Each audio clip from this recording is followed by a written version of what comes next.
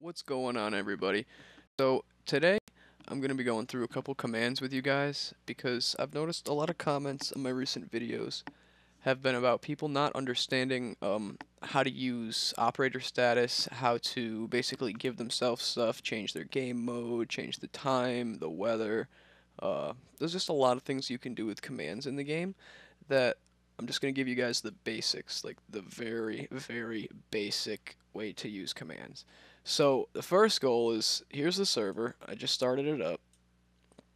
Uh, normal Minecraft 1.14 server. So what we're going to do is we're going to join it. The way that I would do that, if you guys don't know, since I'm hosting it on my own computer, all I have to do is type a zero and hit join, and it puts me right into the world. I don't know why everyone's getting so confused over what to type in right there, but if you're hosting the if you're hosting the server on the same computer that you're trying to play on, like I am right now, you don't need to type any crazy IP address. You don't I mean zero will work. So just type in zero. And if you have it on a different port, you have to put the port after it. But for our purposes right now, zero will work just fine to get in your own Minecraft server. So once you're in, now I can't do any commands if I try to if I try to time set zero, nothing works. So what I'm gonna do is I have to opt myself. So what you do is you have to go into the server console, which is this thing right here, okay? And then you want to type in OP and then your username. My username is Brad6305. So I'm going to go op Brad6305. And if we go back to the server, you can see down here it says that the server has made me an operator, which now means that I have access to basically every single command on the server. I am now effectively an admin of this server. So, well, let's kill this Alright. So, now if we want to de-op somebody, you can do the same thing. Now, from here on out, we don't actually have to run any of the commands in the console anymore. We can actually run them all in-game just by typing them down here. Um, because we're opped. Now, to de-op somebody, so I'm sitting here editing this, and I'm thinking to myself, like, alright, I'm telling you guys the very, very basic, basic stuff about these commands, but I didn't I didn't tell you guys that in the server console, you do not put the slash before any command that you type.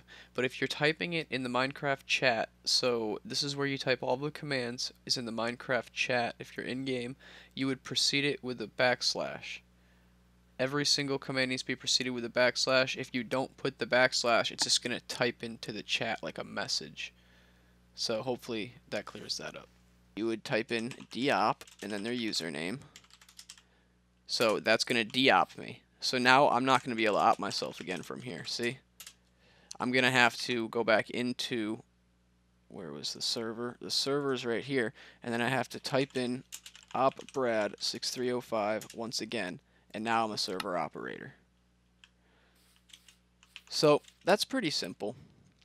Now, I'm going to show you guys the teleport command. Unfortunately, I don't have anybody else in my server right now that I can teleport to, but I'll show you guys the syntax and how it works. And in order to use any of these commands, you need to be opped on the server.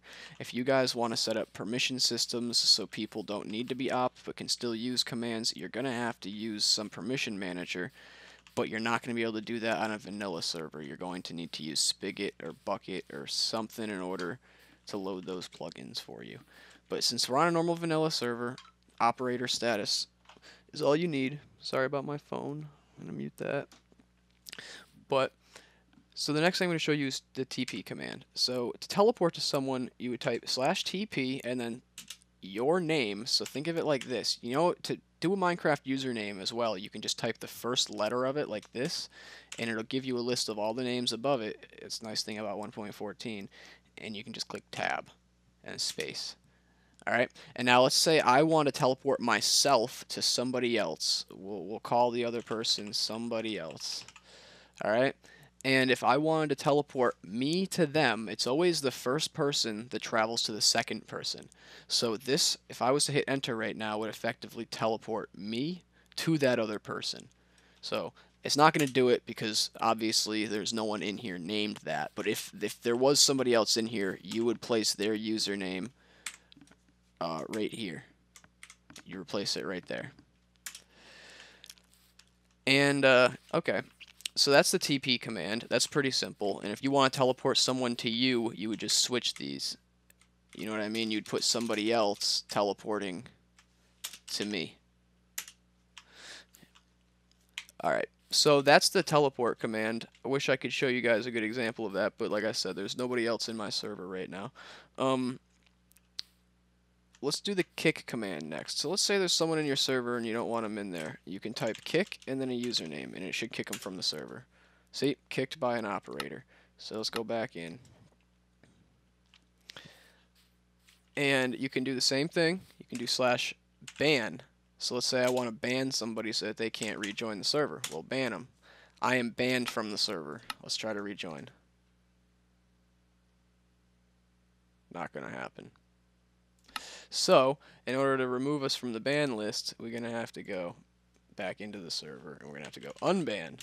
Okay, so I had the command wrong. It's not unban, it's called pardon. I've never had to do this before. So, you would type pardon. This is going to pardon the ban. So, you type in Brad6305 as my username. So, this is going to effectively unban me from my own server. So, we're going to click that, and it says unbanned Brad6305. So, now I should be able to rejoin the server. No problem, just like I was in here before. So I was banned, now I'm not. So you can do the same thing here. You type in pardon and then you type the name. But effectively, I'm not banned anymore. So let's uh, let's just ban someone random. So let's just ban my my alt. So now, Carbon2141 can no longer join this server. But if I want to let them join this server, instead of unban, you type in pardon and then you type in carbon2141, and now they're unbanned and they can rejoin. So that's how that works.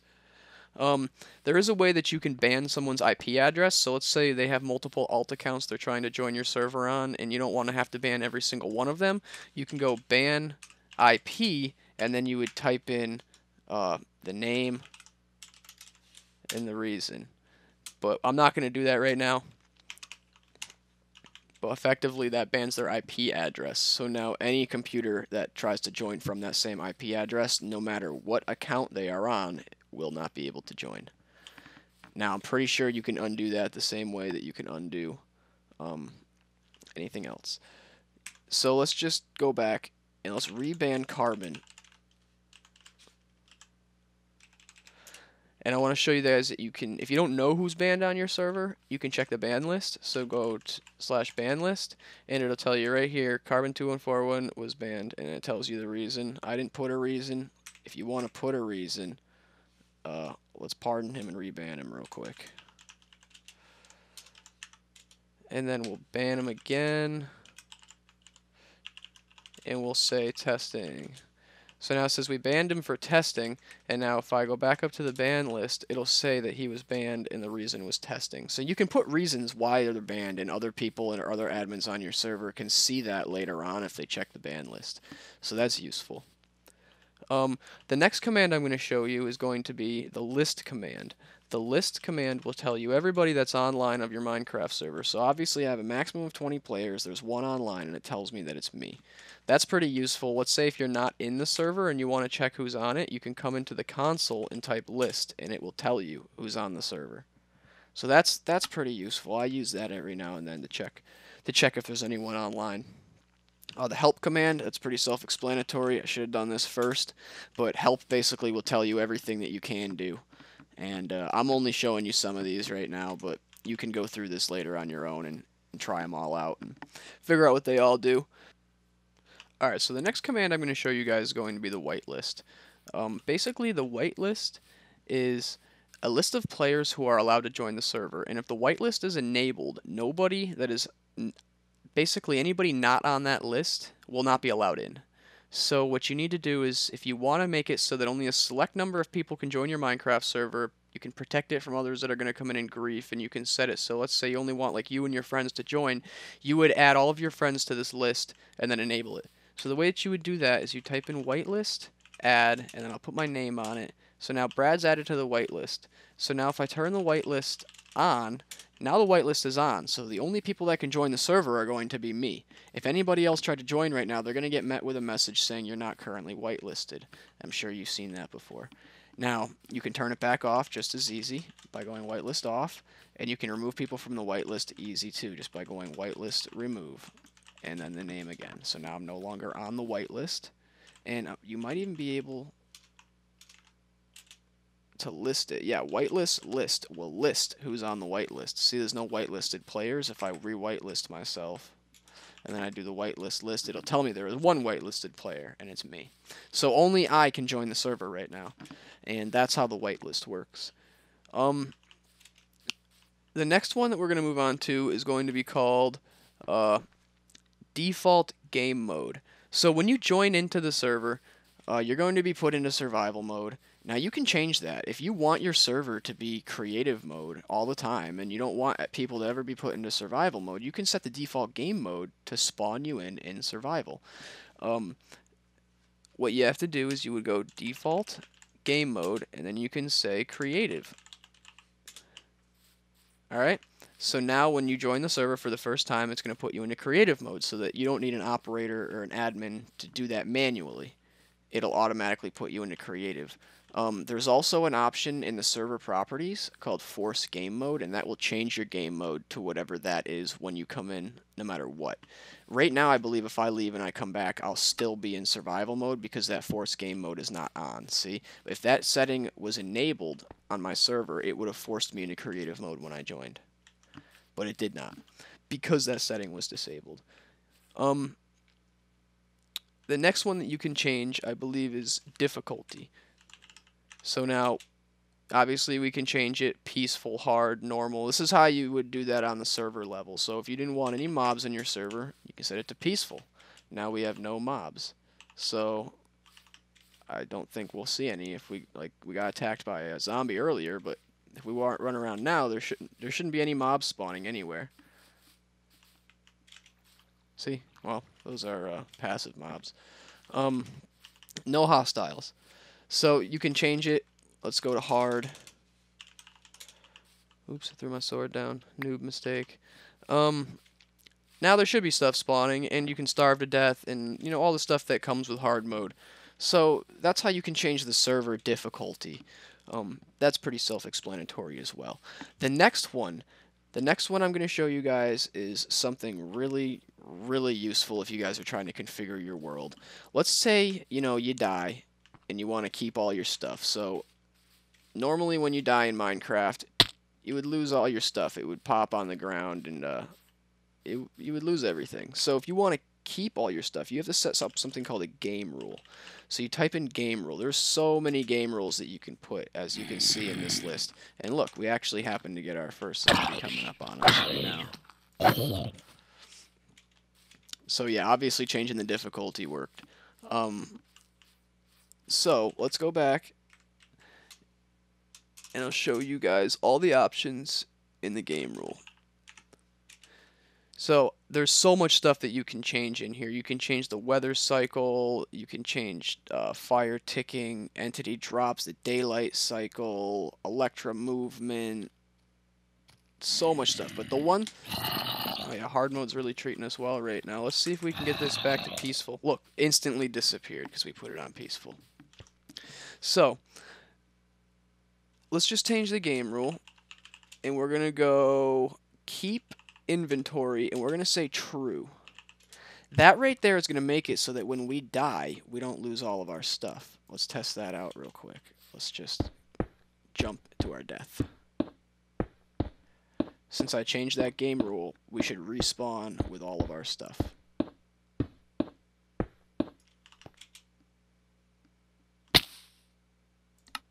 And look at that. We have all of our stuff, and we respawn right under our end portal. So now if I was to turn keep inventory to false, and then, you know, I was to do that same thing, all my stuff should get thrown out onto the ground.